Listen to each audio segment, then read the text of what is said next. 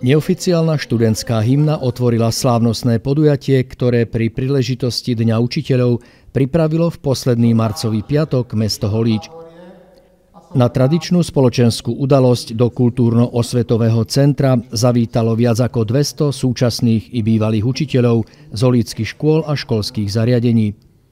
V úvodnom príhovore vyjadril primátor úctu k učiteľskému povolaniu a poďakoval pedagógom za ich zodpovednú a náročnú úlohu pri vzdelávaní detí a mládeže.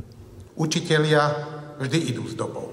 Dokonca ju predbiehajú a snažia sa mladým vybudovať predpoklady pre budúcnosť. Učiteľov by sme si mali vážiť naozaj každý deň. Možno by mali naspäť získať kompetencie a občas nad nami všetkými, a to nielen pomyselne, zlomiť palicu. Predovšetkým úctu a vďaku holíckým učiteľom vyslovili vo svojich príhovoroch štátna tajomníčka ministerstva školstva Olga Nachtmanová i ministerka kultúry Ľubica Lašáková, ktorá sa krátko predtým zúčastnila na slávnostnom otvorení zrekonštruovanej časti objektu tzv. koniarne Holíckého zámku. Hudobnú gratuláciu v podobe známych melódií ako svoj symbolický darček odovzdala prítomným učiteľom Sonia Cipínová, sprevádzaná hrou na klavíri Romana Blahu.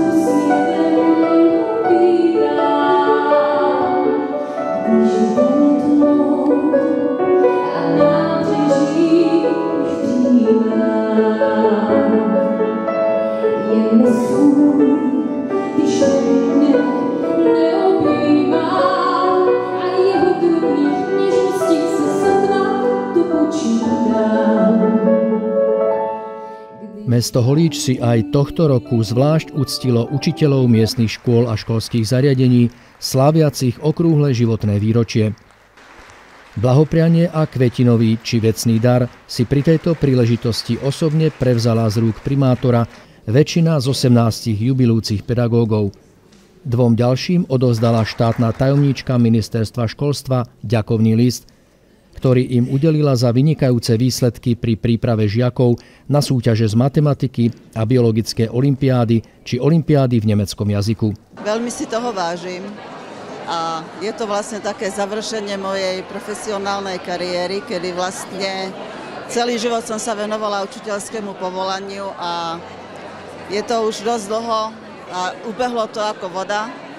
No a ani som si nepomyslela, že takéto ocenenie pekné dostanem od pani štátnej tajomničky.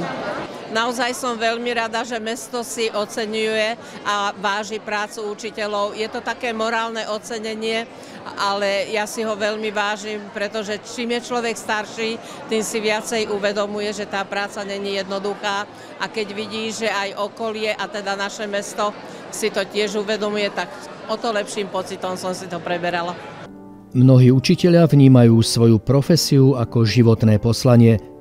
Svoje rozhodnutie stať sa pedagógom ani jedna z opýtaných učiteľiek neľutuje. To, to bolo moje také vysnívané povolanie, teda poslanie. A keby sa to malo opakovať, vždy to bude len to isté, pretože tí deti, ja ešte stále chodím zastupovať, tí deti ma naplňajú a vždy sa vrátim do tých začiatkov a hlavne porovnávam, že čo bolo vtedy a čo je teraz. Mám z toho ukrutnú radosť. Keby som si mala vybrať, tak asi si vyberiem znova toto povolanie. Lebo vychovávať našu mladú generáciu, to je asi to najlepšie a najkrajšie povolanie. Naozaj je to poslanie a že je strašne dôležité dať tým deťom najavo, že ich máme radi. Aj keď teda vyžadujem disciplínu, nastavím si pravidlá, ale nesmieme pripomenúť, že ich máme radi, postískať ich a dať im tú lásku najavo. A vtedy tie deti aj inak fungujú. O význame a náročnosti pedagogickej práce sa u nás hovorí už dlhší čas. Dostatočné spoločenské či finančné ocenenie učiteľom chýba. Snahou ministerstva školstva je vytvoriť pedagógom i nepedagogickým pracovníkom adekvátne podmienky na ich prácu, primerané ohodnotenie a tiež zámer prilákať do systému vzdelávania nových učiteľov.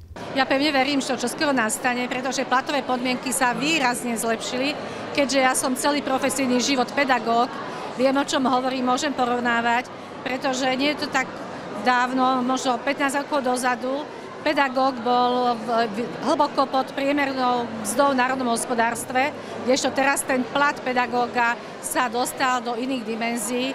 Viete o tom, že za tieto dva roky sa dvíha plat pedagóga o 20 čo nie je malé navýšenie. Určite treba v tomto trende pokračovať, treba bojovať za vyšší plat pre pedagóga, aj, aj kvôli tomu, aby nielen mladí ľudia, ale aj viacej mužov išlo do školstva. K optimistickým slovám pripojila štátna tajomníčka rezortu školstva ešte jedno osobitné prianie, ktoré prostredníctvom našej televízie odovzdávame holíckým pedagógom.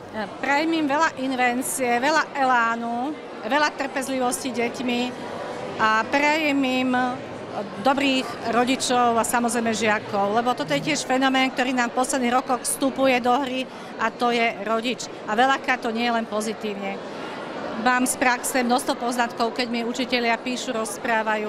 Takže toto všetko by som prijala. Ale pevne verím, že v Holiči to tak je.